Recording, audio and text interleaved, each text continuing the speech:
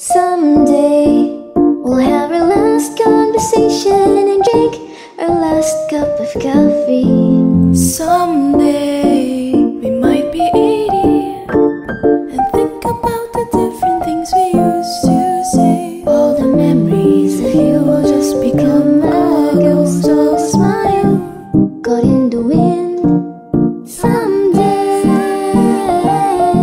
It'll be the last day.